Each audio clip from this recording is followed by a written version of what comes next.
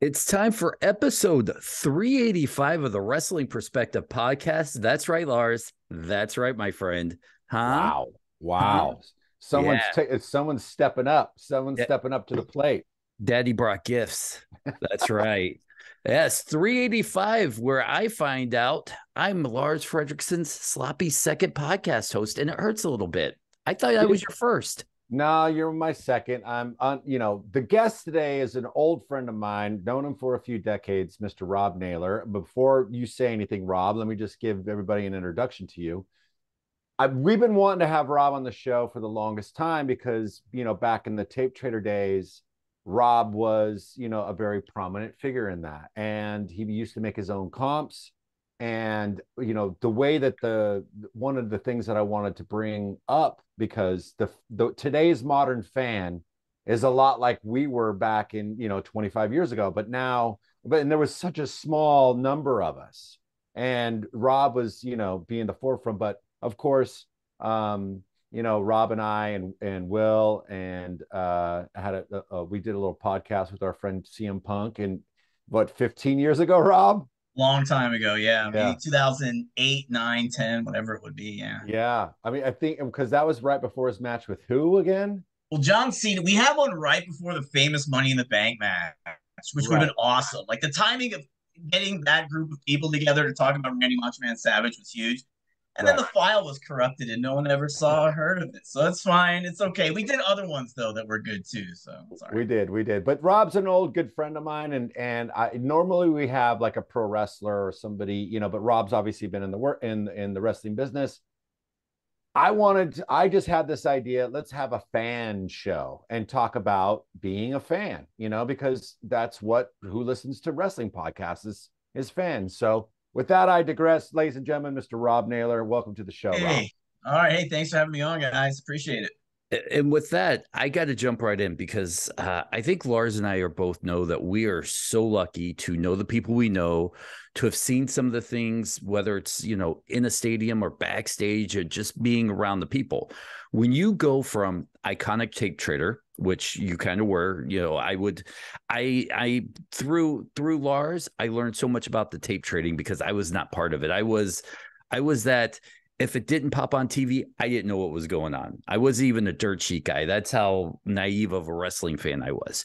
So you're one of those few people in in in the tape trading industry that goes from tape trading to being part of the industry.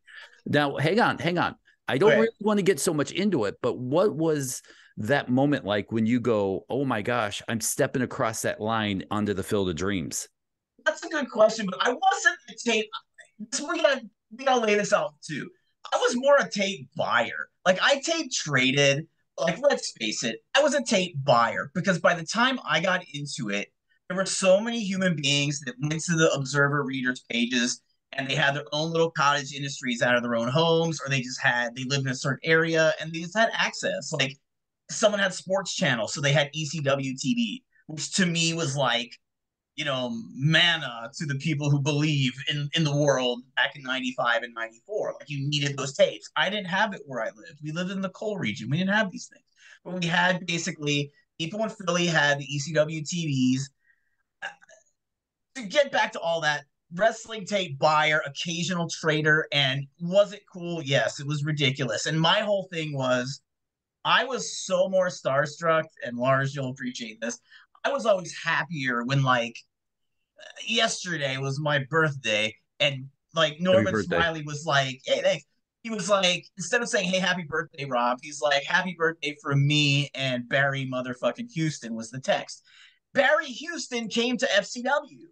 Who the fuck is Barry Houston to most people? He's my favorite. He's this awesome guy. He was this awesome wrestler, one of the first people to do European style and he did it on Worldwide Wrestling, which was the D show by that time with the NWO and everything.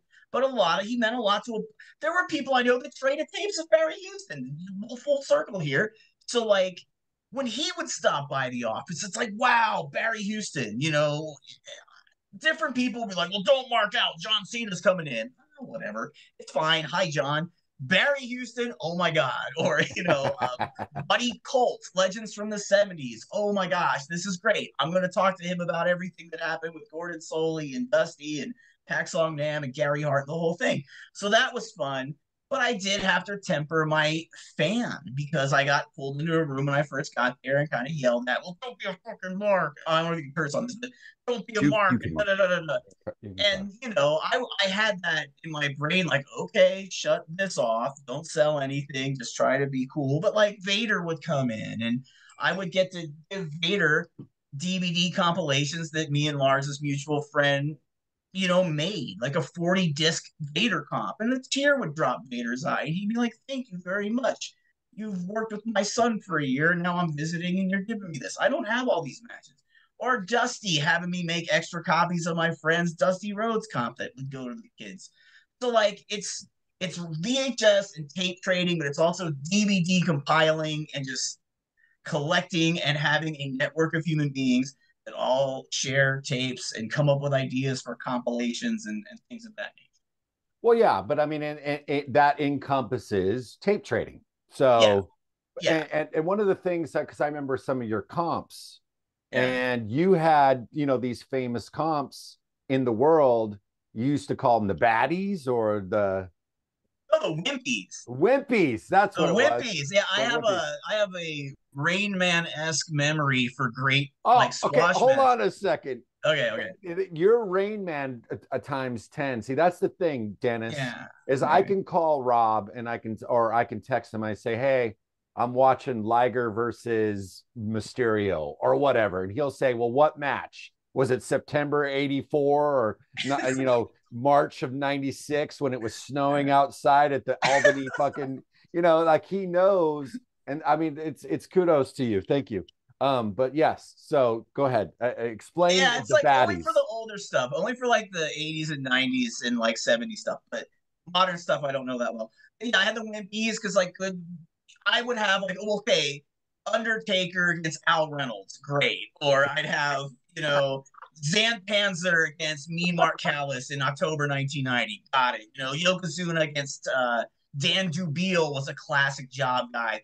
And he thinks he had some kind of issue with his ribs where like Yoko could sit on him full time and like destroy him and not land on his feet first. But he survived it somehow. Was it a condition? I don't know. These are the medical things I worry about at night, not like my own health or an EKG. Does Dan Dubiel have some kind of structure in his rib cage allows them to take Banzai drops better? These are the important things we think about. But uh, yeah, so I, I, had comps. I would pick my favorite matches from all over the place and all days and times. There's a guy named Phil Schneider who was who is he yeah. writes now for the Ringer, and he's a really great guy. And I've been to shows with him for years, but he had comps before I did and he had them on deathvalleydriver.com and he put these compilations together and it took and we got to talk about this it took forever this day of now give me what i want i need to consume it immediately phil would write out stuff for his tape list and be like oh well here's Tenryu and this person and here's this michinoku, michinoku eight man and here's this Meiko Satomura rookie year match and here's this 70s Snuka Flair match. And like he would me detailed write ups. He's like, oh, I can't wait to get that tape and you'd send him 20 bucks and like eight months later maybe you'd get a fourth generation version of all these matches and you'd be excited it was part of it. There wasn't that immediate gratification of oh my god i need it right now. You waited for it and then when you got things you kind of appreciated a little bit more. I don't want to go all old man over here yelling at the clouds, but I feel now a lot of times people just like they're ready to shit on something before it even is finished because they just want to be like, oh well, you know, I saw this last week and it was better than this, or everything is available on YouTube. If YouTube was around when I was a kid, it'd be bad. I wouldn't have learned anything. I would have I, I would have been focused on watching wrestling on YouTube all day and all night. So well, we've, we've had Phil on the show uh, promoting his Way of the Blade book. Yeah. And, and that's another guy I wanted to mention. I, sorry to cut you off, but you know, just the idea of how much time it took to go around and collect these matches. Um, and just that, like you were talking about, that excitement of finally getting it after, mm-hmm. you know, such and such a time. But just having that documented, it, you know, that that was like the best feeling in a lot in a lot of ways. In, in my, that was in the my best. Opinion. Go into the mailbox, and th- I did this recently I haven't collected anything for wrestling in the longest time. In the 90s, I would order that best of Sabu tape and I would order the best of the headhunters in wing. And I would order all these tapes. And my poor parents had all this shit coming to their house 24 7. Like, because I had a I had a part-time job on weekends at the nursing home. So instead of like putting forward my college, I'm like, well, no, I'm gonna get this headhunters tape and we've got to see what's gonna happen with Onita in FMW. So I had stuff coming to the home and it was awesome. And I'd run to the mailbox and be pissed if the mailman did come with my tape. And I'm like, oh God, you know, fuck you, mailman. But then, like, when you would be great when it would come, and then it'd be okay, fun. We're gonna watch. I have I haven't had that excitement in years for any kind of commodity. I was like, ah, you know, whatever. But now I'm into collecting Japanese wrestling magazines, and I'm funneling hundreds of dollars into year-long Japanese wrestling. Like 1993, the whole 52 issues. Let's get them in the mail and run to the mailbox and be excited again. So it's coming back for me a little bit. Right. I hope other people have hobbies in their life. If it's not wrestling, maybe like fucking roller derby or whatever else they might like in life, Barbie, whatever it is. But people like things, and it comes to your home. You, get excited about it, and it's tangible. It's a real thing. Yeah. You can go and collect and have in your hands. Pop it into a DVD player, or, you know, just have it. Now, in my research of you, I came across some stuff where some of the guys in the industry would come to you to critique their matches. Now, I guess my question here is what were the matches in your head that you would use as a measuring stick for their matches? Okay, so yeah, that's uh, I don't know about all that. Here's what I'll say about all that. When I worked at NXT, yes, sometimes someone that worked there would be like, "Hey, you know, someone that might be new. Hey, you've seen a million things. What do you, you watch this? What do you think of this? Or, you know, I would write what I would do in the 90s or in the 2000s. I would go to every show in the Northeast and I would do my little typewriter write ups of every show after it happened on message boards. And people would read them. Eventually, I made a lot of friendships at wrestling through that with a lot of great people. So, with that, okay. What I like to do though is I like to watch a match. Like the, the whole thing at developmental, when I first got there at least, was like, well, everyone watch Ric Flair or watch Goldberg. You're a big jacked up guy. Watch Goldberg. Fuck that. Watch Eric Embry and Buddy Landel instead of Ric Flair because everyone's oh, seen Ric Flair. Watch Gino Hernandez. Watch, uh, you know, somebody um, uh, you know, watch Shingo in Japan instead of Gold. What Goldberg's Goldberg. You're not gonna do Goldberg again. Like, right. okay, he had great fire and his intensity. You can watch that if you're new and you can grasp that and learn from it. But there's other like I could watch any person's body type even and be like, okay, bing, bing, bing, bing, bing. Watch this. Here's this idea. And as anyone that could follow my social media, I, I, just social media is such an angry place. So all I do is I just put little photos and videos of shit and you could see I have a, a, a mind for just picking a clip out, this, that, or the other thing. And even Gary Albright, this awesome wrestler from the 90s. Recently, I just have a friend who has a giant database of 80,000 matches. And I just typed in Albright. And all of a sudden, I pulled up 15 Albright matches. And I know right in the match where the suplex is going to be. So I just go bing, bing, bing, bing, bing. And I just can throw something together really fun and easy. And then people consume and they enjoy. So you know, just just stuff like that. I like watching wrestling in a way where, hey, that's cool. I haven't seen that in a while. Let's pitch this to my friend via text, you know, and maybe they'll adopt it into their their match in a way, shape, or form that makes sense. So you know, stuff like that. Well, you know, today's modern wrestling, because and uh, that was one of the points I wanted to make at the the beginning of the show. Is like, you know, a lot. As, there was a very small world of us who read the dirt sheets, you know, were interested in the ratings or, you know, whatever it may be, or what was happening in Japan and trying to follow along the story. And we were kind of uh, quote unquote smart fans, right? Would you, I mean, is that fair? this is my question to you. When did you start with all that? Because I know my exact date. Now you were more busy than I, but in 1993, I got my first observer. That, right. Yeah, Exactly. Yeah. But you know, when did you find out that you could even send a mail or a money order to someone to get a tape or trade a tape, Lars? Was it well, later in the nineties? Did you uh, two thousands? Like it would, it would, well, when I that that was the thing because when I it was probably 94, 95 Wow. Okay. Okay, so and that's when I just kind of discovered like, you know, and, and where how I got connected was through eBay. Okay. And, and and and so you would find guys there selling comp tapes or whatever it was. yeah. And then sometimes on their pages they'd say, "Come to my website," right? Okay. And then that's how you kind of found it. And then Death Valley Driver, Yeah. and you know, and the uh, the Bat Boy, who was a good friend of mine, Okay. uh, Brent. You know, so so it was like it was like I kind of made my way. So by the time the, the the late '90s came around, I was fully immersed, and I knew who to go to to get certain things, who was dependable, who was going to rip you off. Because I got ripped off a few times. You know, Yeah. there was yeah. there was and, and there was that one guy that would always get all the Joshi stuff. Uh, oh fuck, Southern California guy. I forget his name. Um, Bob Barnett. was it Barn? It might have been Barnett. Might yeah, be 'cause Bob Barnett. it was Bob Barnett because I met him through Vampiro, as a matter of fact. so Hey, this is And- why me and you can talk for hours because I I don't know. even know any of these things, but it, I'm enamored by it. You don't even understand. Okay, Yeah. so you met Bob Barnett through Vampiro. yeah, it, and it's just because when when when uh when Vampiro would do little spot shows down in Mexico or whatever, Mhm. he would do a spot show in LA because the LA the flea markets down there would do those little or even in Tijuana, you know, what I mean? Yeah, was- like Superboy and stuff. exactly. So Vampiro would stay at his house, blah blah blah blah blah blah blah. Okay. Okay. So, um, but today's modern fan, you know, and you have like things like the Observer, probably bigger than it's ever been in in its history. You know what I mean? Where, where or, or people who know about it, anyways. Yeah. Um, and then you have guys like Dave Meltzer now on these these retrospectives of wrestlers' careers and things like that. Um, you know, obviously, um, he was one of the guys, you know, covering the steroid trials and stuff like that through the newsletters. And there was another one, I forget who he was. There was another Wade Keller. yeah, thank you.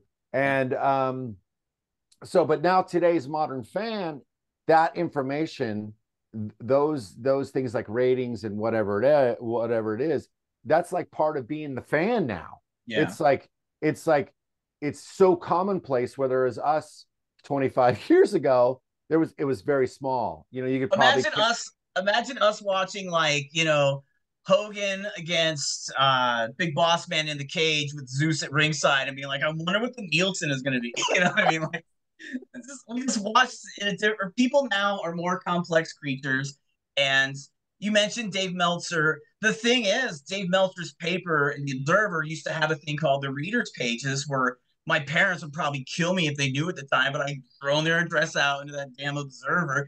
I want to see Sabu matches or headhunters and send tape lists to this house. So then George Mayfield, ah George Mayf- Mayfield's tapes. the man, I Yeah. loved him. He lived up the street near Harrisburg, Pennsylvania, and he had a thing, Lars, where like he sent a tape list and he had a thing where he listed like 300 matches Dynamite Kid and Tiger Mask, and Slaughter and Patterson, and Vader and Takata, and and Steiner's matches, and all this stuff. And he would talk about why he liked each match. Sabu and Funk at the WWN tapings that were never released, the bootleg pro shot. You know, so all these words we would read, like, oh, wow, that sounds cool. And you'd pick and choose all the different things. Jushin Liger, Pegasus Kid. I remember the first one I did. I wrote it on a little index card and I sent it away. And like five weeks later, I got this tape to my house, and I was like, "Holy shit! I didn't know it could be like this." And then at the end of the tape, George put a, a Super Jacob video, just a highlight video of the show. So then I had to get that too. So like some of these people were very, very smart the way they would market their own businesses. And uh, then like all these, I'd get tape lists from Japan. Steve Freelander was a name I remember. John McAdam is a guy who has a podcast about the fandom that we're talking about today in the 80s. I'm talking 70s and 80s Smart Mark fans, which I don't know anything about. I'm 90s and 2000s. I'm old enough, but there's a whole thing ahead of me. People were trading beta tapes for Christ's sake. I don't even know what a beta tape is really. I, I was a VHS guy. So like there's this every generation has its own thing. And Was I'm going Ma- on a rant. But well, no, just, but was it but was it Mayfield who you paid 10 bucks to have him FedEx his list? And it was like a fucking uh, phone book. Who was that? No, I think that was Friedlander, and it was the one where I these see these guys. The, one of the reasons I have glasses is because I've got that fucking tape list from that guy, and it's the most minute little. You can't even like Billy Black and Joel Deaton beat the Fantastics in 19. And you're you got my bifocal the fuck out. I, I tried to read, like it was a very thorough tape list. I don't know how he did it. It was incredible. It was like an encyclopedia. Yeah, no, I mean, it was, was like 10 bucks. It was 10 bucks. You send him 10 bucks, and then he FedExed you this book. It's basically a book. Oh, and you would have to it was like so overwhelming, even as a as a as a, a pro wrestling fan, because there's like, I don't even know where to start. You know there were I mean? hunchback, there were hunchback mailmen in Campbell, California, and Shamokin, Pennsylvania, in the '90s. I assure you, just because of that fucking guy's list, it was crazy. Yeah, that was funny. You know, I, I want to jump in and ask because we're in a culture now where things get recycled. What is old is new again. Could you see a version of this tape trading industry come back in? in? Yes, and what it is, it it's already here, and it's called Google Drive.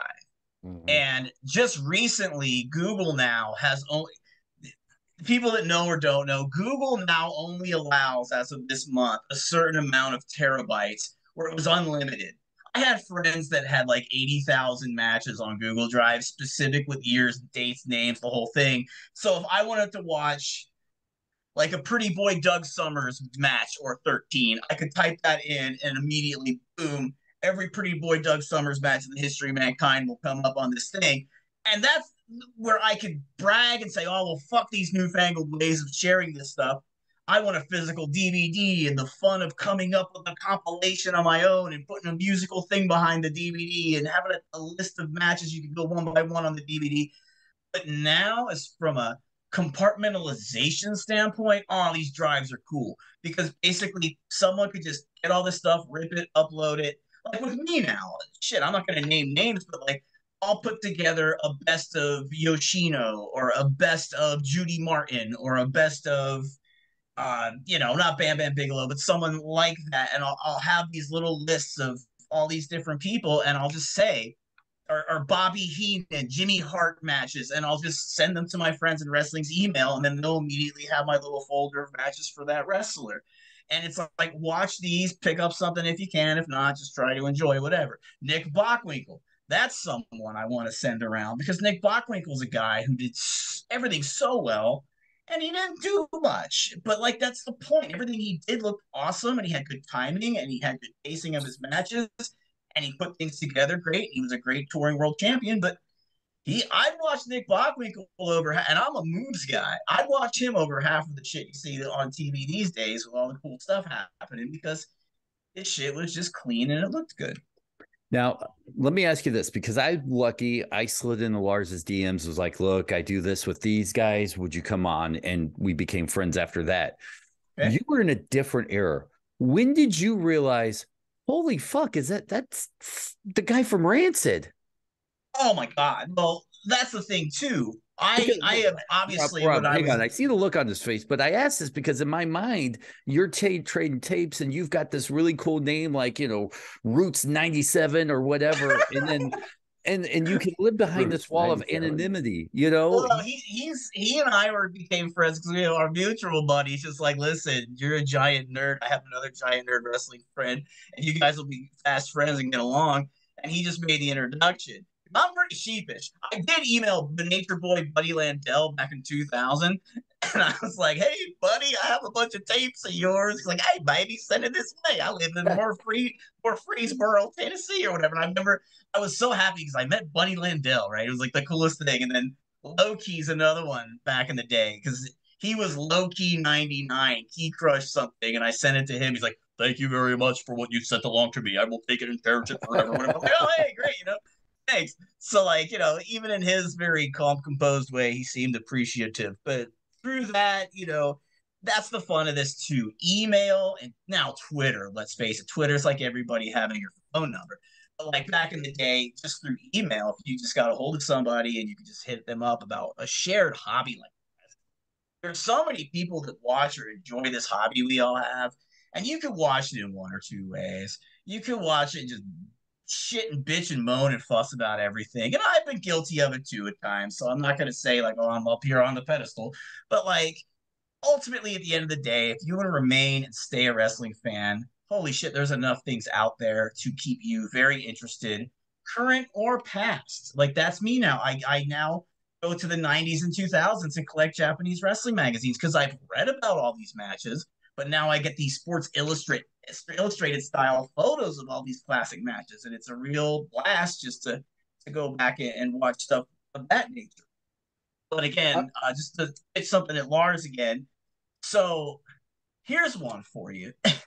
when you were watching, this is off topic, surprise, but when you were watching ECW in the 90s, if you did, and at the end they had Stonecutter Media or they'd have Tommy Boy Records, were you, as someone who was in the music business, because I would get these tapes in the mail, were you like, bullshit, they don't have deals with these record companies? Like, you probably had more know how. Like, well, you know, I think at that time, you know, ECW, I mean, I'm not too sure if they had the rights to play these songs. And a lot of that didn't really come in. I mean, I know that's always been there, but yeah. I'm sure that, like, you know, it's kind of like getting your music played at a baseball stadium. You get paid for that, right? Okay. So, so you get paid no matter what. So, and I don't necessarily know if it was ECW's necessarily their responsibility. It might have been the the uh, the station or something. I don't really know how they they might have struck a deal. Who knows?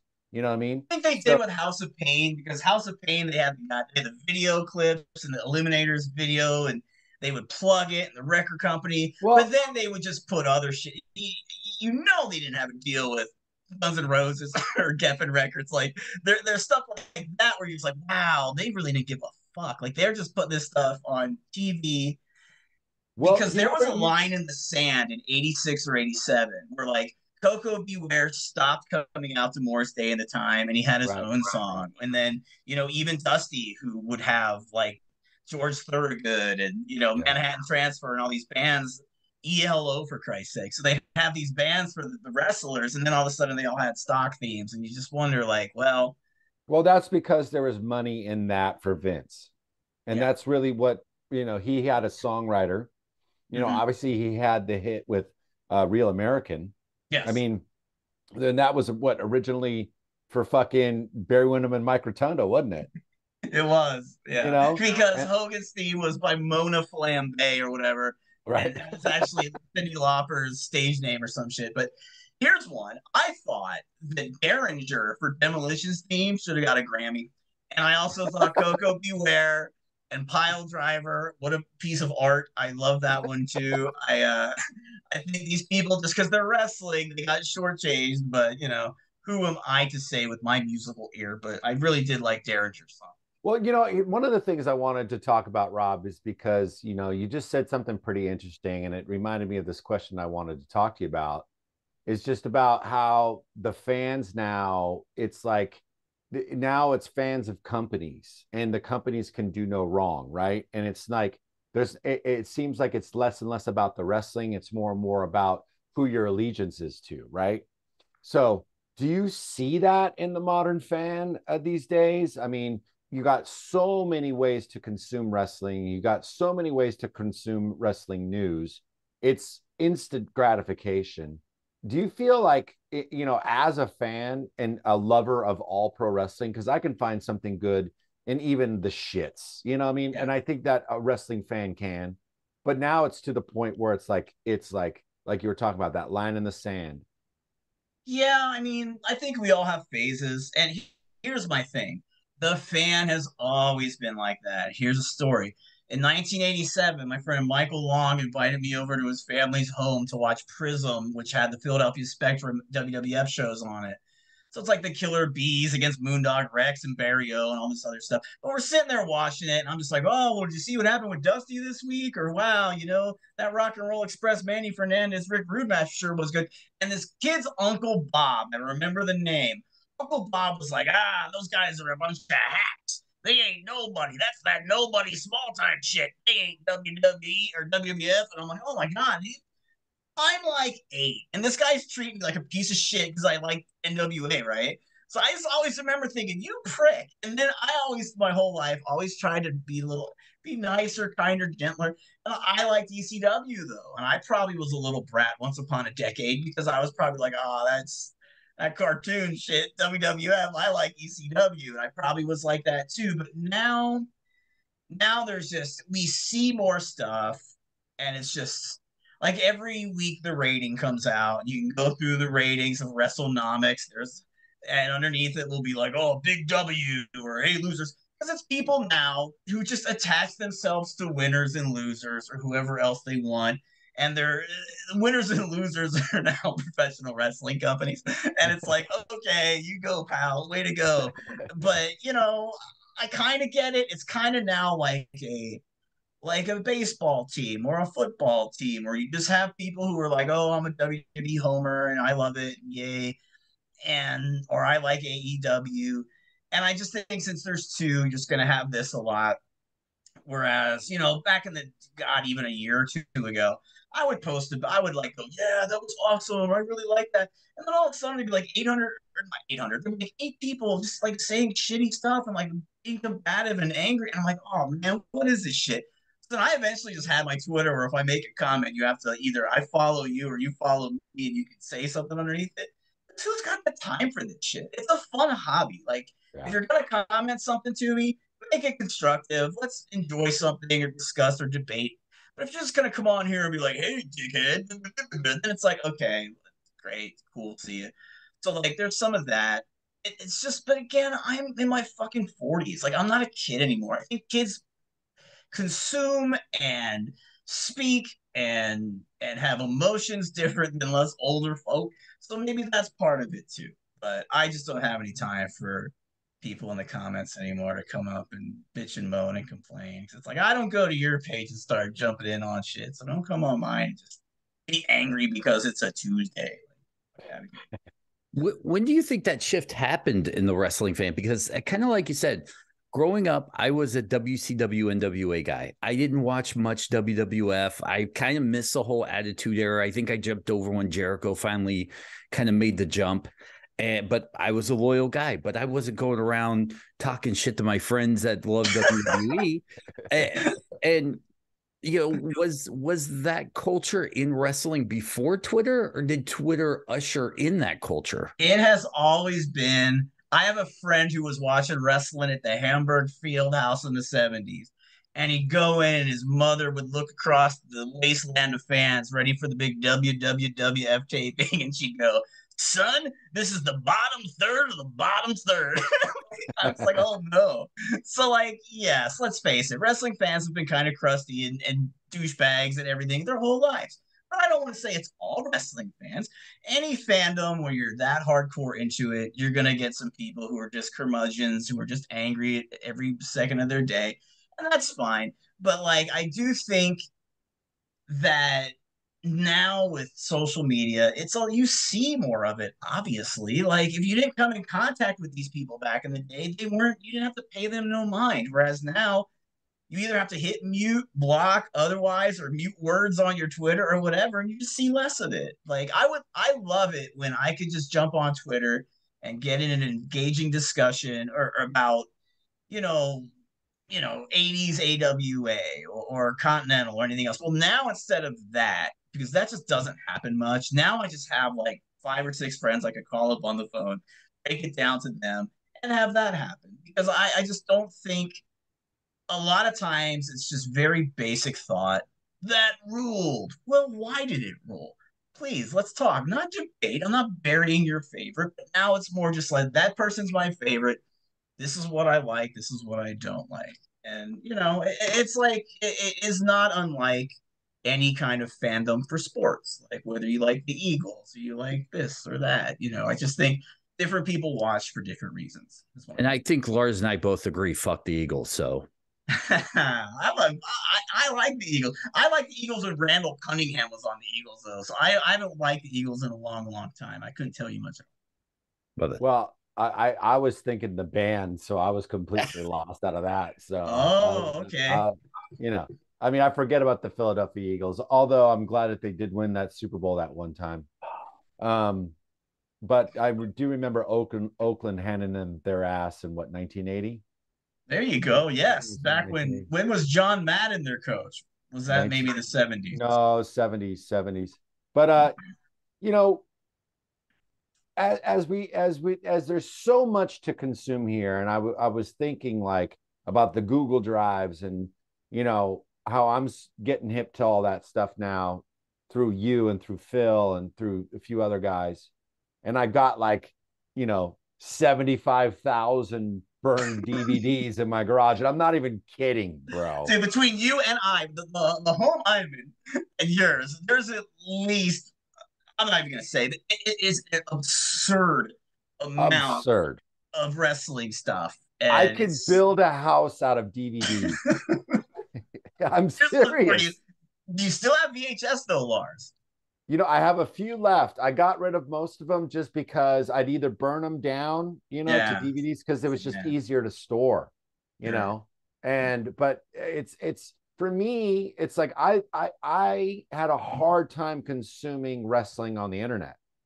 Mhm. Um, I think that the uh way that we do it now, like uh, you can go on YouTube and and find a good match and the and you know, and I'll find some underground shit that I really like, like a lot of the death match stuff. Yeah. Will, you'll it will find its way on onto YouTube, and a lot some of the Japanese stuff that I like. Every once in a while, you you can you can you know find a match, but I remember when when when the YouTube thing started to happen and the matches started, or programs like you know WCW Saturday Night from fucking you know December of '92 or whatever the fuck, yeah. and it would be so fucked up that it was so hard to watch. But now people have been uploading better generations of this stuff, and it's gotten easier to kind of consume it that way.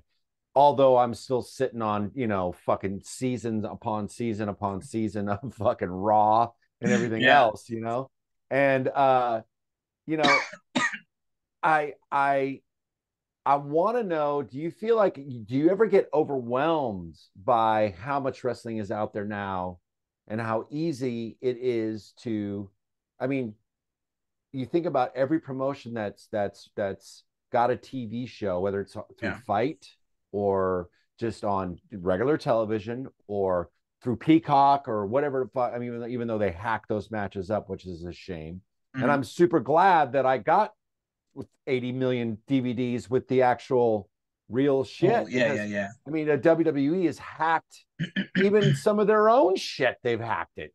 You Well, know, the, the thing with it is, and this is where they're getting me, they're turning me to the dark side because something that I now am doing, and I was never like this. I used to enjoy a ghosty TV screen. I used to like the second and third generations. I now am collecting online versions of matches I already have and have seen a million times. But I want it in 720p. I want it in 1080. I wanted the most beautiful, crisp sound of the fans popping for stuff. I want to elevate. Like if I could find a Bachman Goldberg ending, that's where the network is a blessing because they have they have upgraded all of that stuff that I had before right? on tape, on DVD, but it didn't look that clean. Buddy Rose and Doug Somers, second Doug Somers reference of the show against the Rockers. That's great now with the with the blood and the, the fans of the showboat. So like that is something I'm really enjoying. And now the Japanese companies are getting into it. So now all Japan and, and all this other stuff, they are putting out streaming networks. So I found the Toryumon, there's a Toryumon 12 man four team match in 2003. They just put that up on whatever Toryumon's thing is, and it's for free even. So you can go on there and watch a match that I've only ever had on DVDs in third generation form, but you can now see it in crisp, clean color and, and, and picture. And I love that. So pros and cons, absolutely. But I do love the streaming that is even better. And plus, there's these these these fans who are the real heroes. They're taking all the ECW shows in perfect quality on the network, and they're putting in the old music to it, so then you can watch it.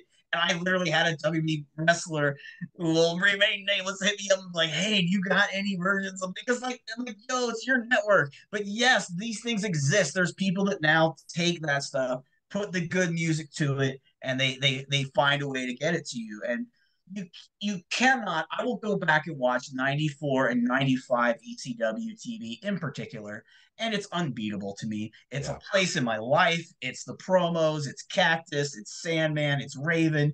it's Dean and Eddie and Redacted and Psychosis and Rey Jr. and the whole gang, and it's a lot of fun to go watch. But and the music is so key because yeah. you got Alice in Chains and you have you know all these other i was a grunge kid. So i always liked that music as it was happening at the time. I'm like oh this is cool. Who's j Ruben Amaja?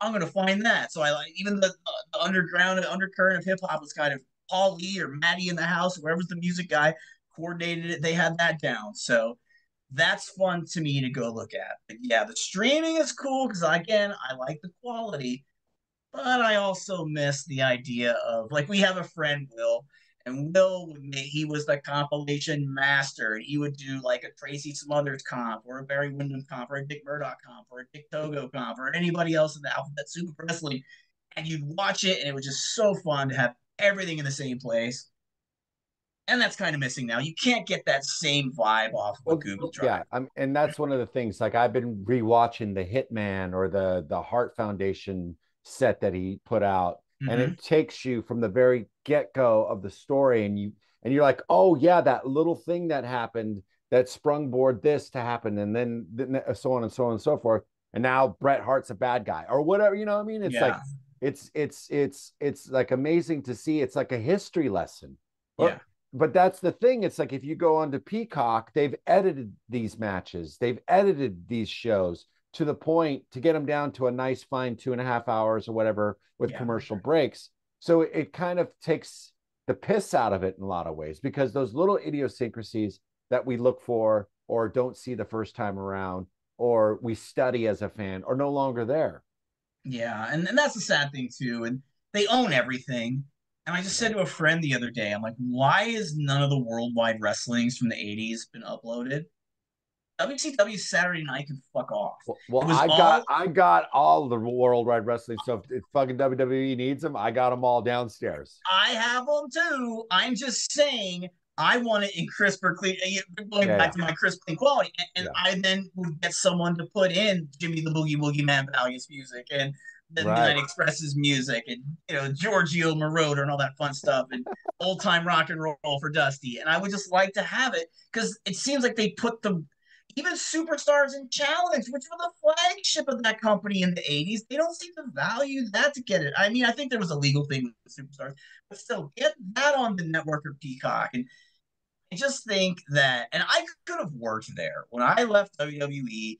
They're like, again, hey, dude, you're not coming to the performance center, but you you're really valuable in the library in Connecticut. Did not interest me at the time. So I was so excited to work one on one with people where I was like, eh, and also the money would be less than I was making, and it was Connecticut, which is extremely expensive. So it wasn't going to work for me. But sometimes, for half a second at least, I sit and I think, well, I could have watched all the worldwides, even if they never got put out. I could have seen the Masters for fuck's sake, but I didn't do it anyway. But uh, yeah, I mean that's another thing that it's when we were younger, the only way we could consume, I had the wrestling dolls or the guys or the action figures or whatever. I didn't have all of them, but I had enough. And I had the magazines. My dad would go, and my mom hated it. You know, we weren't rich or anything. My dad would be like, here's two bucks for that magazine. And you go and you get the wrestler and you get Inside Wrestling and Pro Wrestling Illustrated. And these were the ways to supplement every Saturday when you tune in in the morning to watch a wrestling. Whereas now, my God, the kids could just they could consume wrestling at every second of the day with YouTube and everything else. So, you know, I, I could see how it could make someone more fanatical about being a, a fan, which is a good thing, but it's also an overwhelming thing to get back to your question, where it is overwhelming. And even though I have all this information in my brain for certain periods of times, ask Will, I don't watch full matches. I am the king of getting to what I want to watch when I want to watch it and and knowing what clips I like, and that's it. That's not because I don't like long matches. It's just my attention span ain't what it used to be. So I just really I can't watch it like I used to. So I just watch. If I want to watch a Tenryu match, I'm going to go to where he's chopping or punching the shit out of the guy. Maybe the end when he power bombs it. That's all I really need. I'm fine. But like everything else, you know, these people that are like, even the long matches these days. I know we're not going to talk too much about current wrestling, but like long matches, not for me. Every, I get that people well, do like them. you know. I, I I'm with you because I mean I was looking at that FTR uh, Big Bill uh, what the fuck's his name? Brian Cage. Brian Cage. That match should have ended with the fucking uh the Doomsday, you know, or Yeah. the, the the Bulldog or whatever it was. Mhm. It should have ended there. You know what I mean? And, and but they carried it on, carried it on. Yes, so I'm with you, Dennis. I'm sorry. So, listening to all this, my question here is: What are not best matches, not not not worst matches? What are your favorite entertaining matches? If you were like, "Hey, fans, you want to know what I like? Here are the matches that make me feel like I love wrestling again." What are your how what- many ever? Give me a couple that I should. And I'll add to this. this that I got in the mail. So I'll even add to the question to make it for the show. So one of the first things was I needed to see Dr. Death Steve Williams against Kenta Kobashi from either late August 93 or early September 93. The classic, the one with the backdrop drivers. You know the one. So I had to see that one, you know? And I remember getting the tape in the mail and excitedly running and putting it in the VCR and watching it. And it was awesome. And I watched it and I took it to my best pal who wasn't a wrestling. He liked the Warrior in the 80s, but he didn't really care for wrestling too much. But I'm like, oh, but this was a five star match. And I took it to his house and him and his dad were like, turn this shit off. Like, what is this? This is boring. I'm like, oh my God. And that's when I learned about the uber wrestling fan over here that sees what we see and the people that are just like, all right, it's like not it's not going to be for everybody, which is fine. But uh, so that's one uh,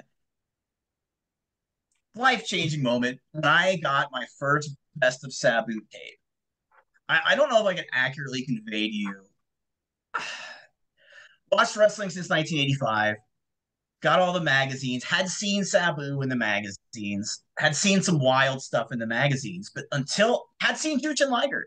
But until I got that best of Sabu tape in 1993 with matches against the first match he had with Taz at the arena for ECW, highlights of him doing the moonsault at Kawasaki Stadium on Dr. Luther and breaking the facial bones, and then all of these things. I was just like, oh my god, like I didn't know wrestling could be like this. This is this is when like Doink the Clown is fighting with Bret Hart and it and Shockmaster's fall. Hey, there you go. Shockmaster's falling through the wall and all this other stuff. And I'm just like Road Warrior Hawk against the Equalizer. But then you see Sabu and you're like, oh my god, this has been missing. So hmm. then it's like fucking catnip where you're like, I need to get more of this Sabu stuff, and you just go to.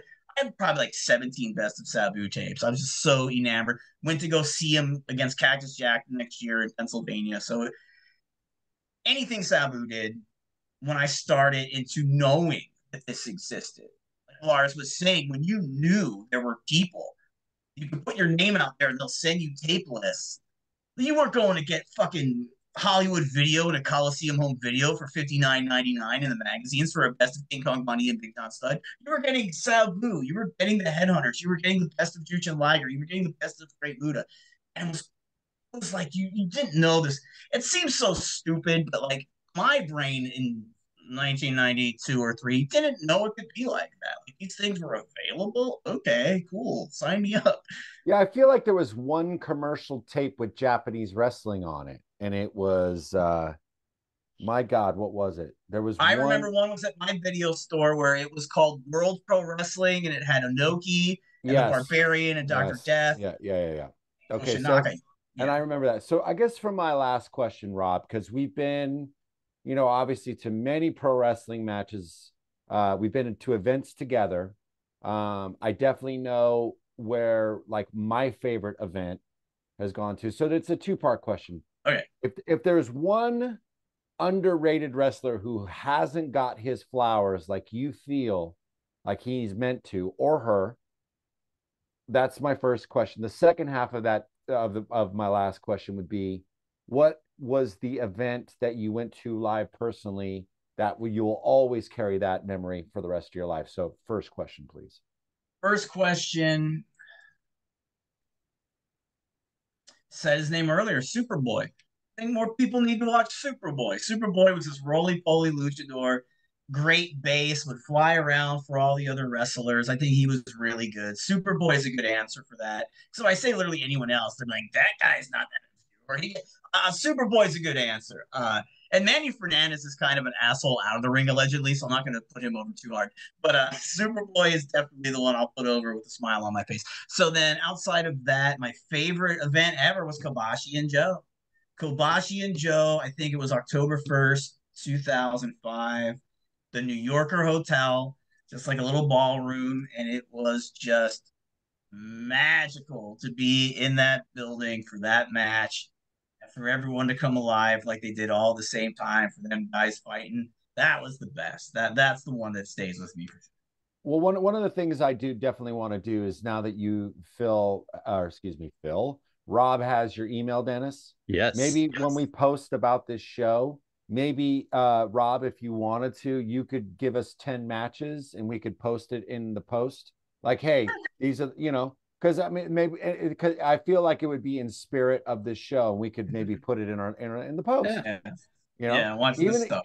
yeah, even if match it's of a, the week. even even if it's just like you typing it on a, a thing and a screenshot, and we put it on the next thing. You know, you know what I'm saying? Like it's a I'll double. do it on an index card like I used to with Mayfield to make it. Yeah. that would be fucking that would be amazing because I I really honestly feel like there's stuff that I you know and uh, on on a total sidebar there's stuff like like I said before in the show I'll call Rob and I'll say hey you know I remember this video of like CM Punk Samoa Joe best of 3 I can't remember what it was. I think there was a shoot in interview uh, you know was it all in one you know tape? And he goes no actually it was they did a shoot. It was together uh, and they talked about these matches and maybe somebody spliced them. But it's like you know it, it, it- there's so much that i still learn from rob to this day you know and, and that's I, you know I, I i consider him a friend you know and uh first and foremost but as a historian rob like i just want to say thank you from the bottom of my heart for coming to our show because Oh, you're, thank This- you. You guys are too nice. well no this was exciting for me because i really feel like you know bringing you on i feel like you know i'm showing you off a little bit so Oh no, don't do that. Uh, Oh, no, no. I, I, I thank you because you know about you know Tamon Honda, and you've seen a lot of stuff live that I'm not even hip to, just because you're a worldly individual that goes places. Whereas you know I'll see stuff in the tri-state area, occasionally in the Midwest, but that's a show. I don't know if you've done it yet.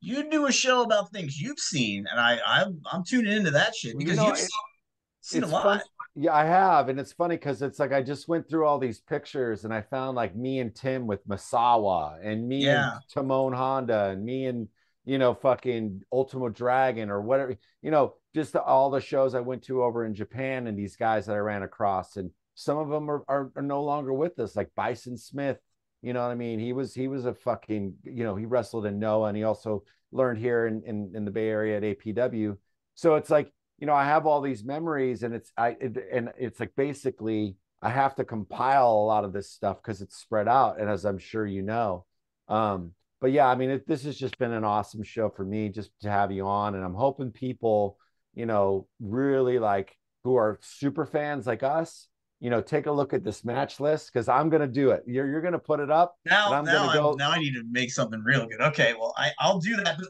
I have one last question for you. and I know we're going to extend this. Have you seen live wrestling in Arena Mexico, Korakuen Hall, and also Madison Square Garden? I'm going to guess yes. I think you said no, but have you seen a show in Arena Mexico? I've never seen a show in Arena Mexico. I've seen wrestling and I've never been to MSG for wrestling. Wow. I've only been the first the first time I was I haven't in either, that. by the way. I haven't either, by the way. So It's but it's something that I gotta do. I was gonna go out there one time when Punk was headlining when he was and I something happened. I don't even remember what it was. The only time I've ever actually been in that building is when we played. so um and but I've been to Korakuen Hall more times nice. you know than I can I can remember honestly. I remember uh smoking cigarettes with uh with two cold Scorpio outside the front door. And we're just having a laugh, you know. And he was just like, "Yo, you, where are you guys from?" And I was like, "We're, I'm, you know, from San Francisco. We're in a band or whatever."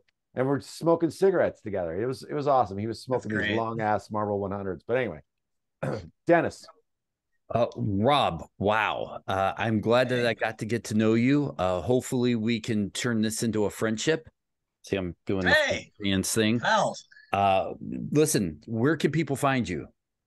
Oh yeah, I'm on Twitter. Uh, it's Rob Naylor N I N, and uh, that's all. I'm on there, and uh, if you go and find me, just you'll see a bunch of wrestling pictures and wrestling clips. It's basic. That's it. Wow, Rob, episode 385. We're really excited that Lars, you see, he's got the numbers down. 385. We're excited to have you here. Thank you so much. Don't be a stranger. All right. You can't come back anytime, but you can come back sometime. Is that all right? Sounds good to me. So, all right, uh, Lars Frederiksen, Dennis Farrell. This is a Wrestling Perspective podcast. Make sure you follow us on all of our social media. We're changing our email address up, so look for us posting it uh, pretty much when this drops. We'll have posts coming out about what our new email address is. Feel free to email us your questions. Rob, you can't. Uh, you have our personal, so you can just text us or email us. But uh, I don't want to see you slide into my email, okay, buddy? um, but look for all that stuff. Thank you so much, everybody, for enjoying the show, for consuming it. I know we're not uh, we're not uh, WWWF, but we're close to it. So thank you guys so much. We really appreciate it, and uh, we'll see you next week.